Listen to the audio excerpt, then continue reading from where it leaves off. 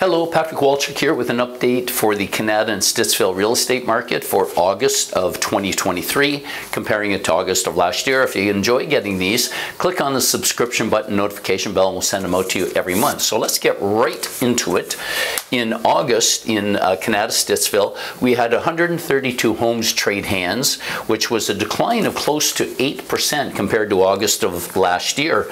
Now, the average overall price was 700, almost $750,000, which was a very significant rise of 9.7% compared to August of last year. Now, to put this into a little bit of context, in July of this year, the average price was 784,000. So if you compare it to, you know, this year, we had a decline.